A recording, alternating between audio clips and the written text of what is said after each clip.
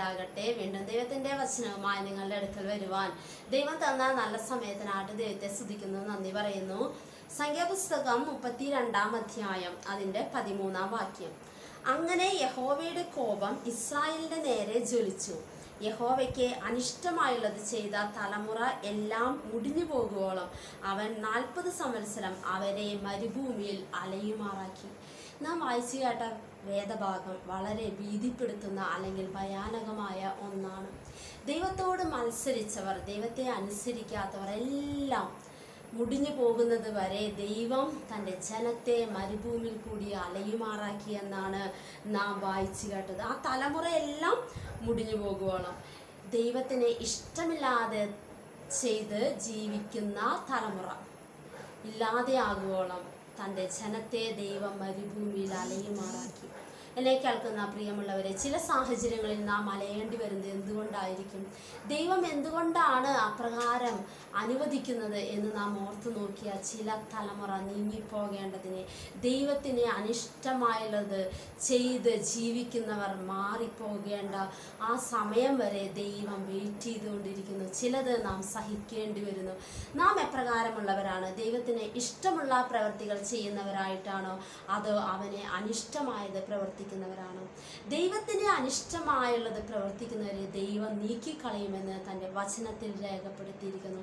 മുന്നറിയിപ്പുകൾ ദൈവം നൽകിത്തരും. അതിനെ അവഗണിച്ചാൽ വലിയ അപകടമാണ്. നമുക്കറിയാം നാം ഇവിടെ ജീവിക്കുമ്പോൾ തന്നെ ഓരോ സാഹചര്യത്തിനും വ്യക്തമായ മുന്നറിയിപ്പ് നമുക്ക് ലഭിക്കുമ്പോൾ അതിനെ നാം അവഗണിച്ചിട്ടുണ്ടെങ്കിൽ അതിന്റെ പരിണിത ഫലം വളരെ വലുതാണ്. പലരും അവഗണിച്ച് മുന്നോട്ട് പോവുകയാണ്. എന്തെങ്കിലും വരട്ടെ ഞാനിപ്പോൾ ഇങ്ങനെ ചെയ്താൽ എന്താണ് എന്നൊക്കെ ചോദിച്ച് മറുതലിക്കുന്ന. ആരോടായാലും ഭവനത്തിലുള്ളവരോട് അല്ലെങ്കിൽ സമൂഹത്തിലുള്ളവരോട് അല്ലെങ്കിൽ ഭരണാധികാരികളോട് ഗവൺമെന്റിനോടൊക്കെ മത്സരിക്കുന്ന ഒരു തരം സ്വഭാവം. അതുപോലെ തന്നെ ദൈവത്തോടും മത്സരിക്കുന്ന സ്വഭാവം വളർത്തുന്നവർ സൂക്ഷിച്ചു കൊള്ളുക. ഇപ്രകാരം ഒരു കാര്യം സംഭവിച്ചത് വചനത്തിൽ രേഖപ്പെടുത്തിയിരിക്കുന്നു.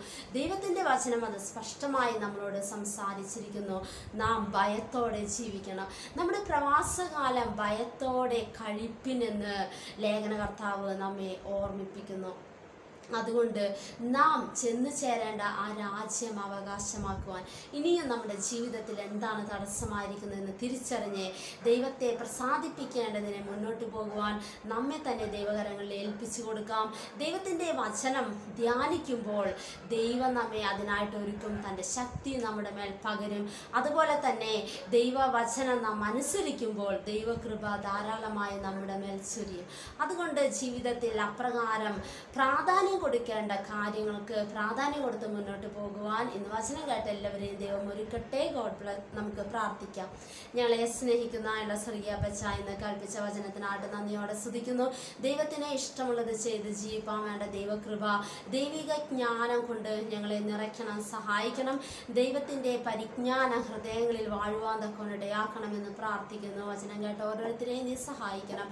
എല്ലാ യേശുസുവിന്റെ നാമത്തിൽ തന്നെ. Ami God bless you